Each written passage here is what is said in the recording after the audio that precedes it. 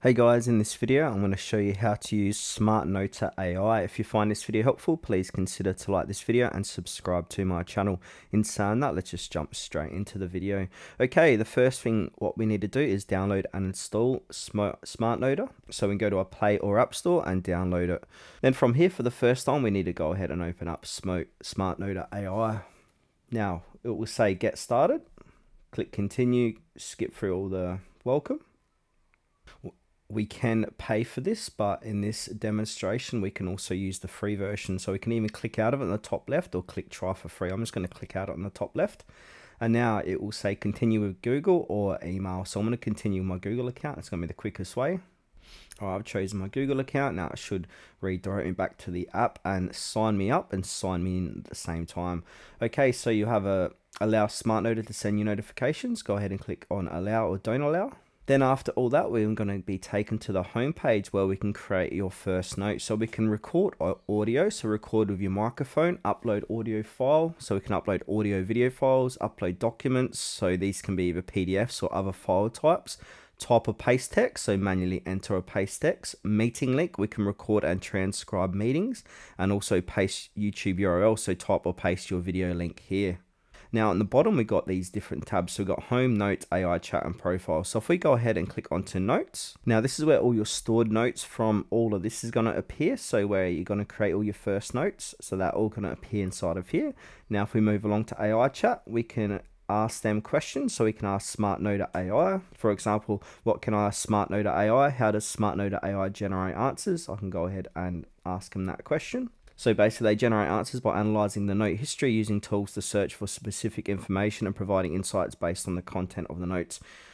Now, if we go to profile, this is where we can upload a new profile photo if you want. We can change our name, change email, we can change our password, and all the other settings you typically find in apps like these. Now, if we go back to home, we can go ahead and record audio. So if you're sick of sick and tired of drowning in notes, missing key details during meetings or lectures, it's time to start taking notes it's time to stop taking notes the old fashioned way. So if you go ahead and click on record audio, now it will say my recording. Now record at least two to three minutes for better context, speak clearly and at a steady pace, avoid background noise.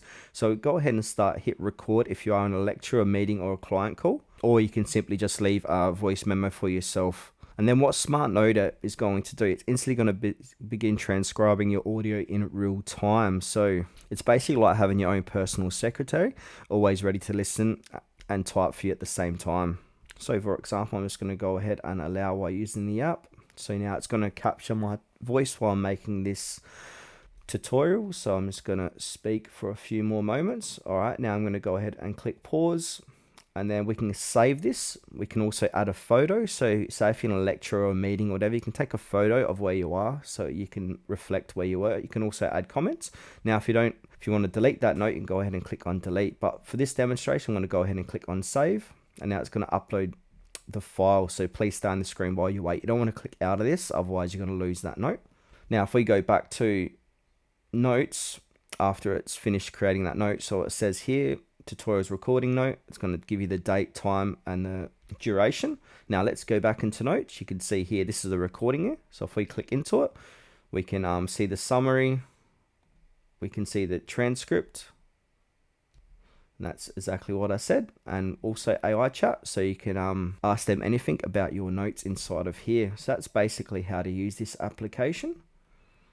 So if we want to make a new note, go back to the home tab, click on new note, and then we can yeah, record audio or these are pretty self-explanatory, upload audio files, documents, and all that stuff.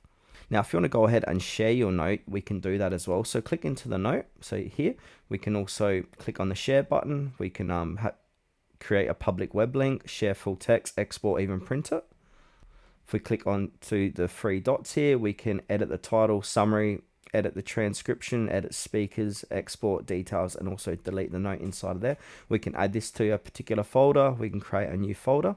So basically, SmartNoter AI is a game changer for anyone who handles information daily.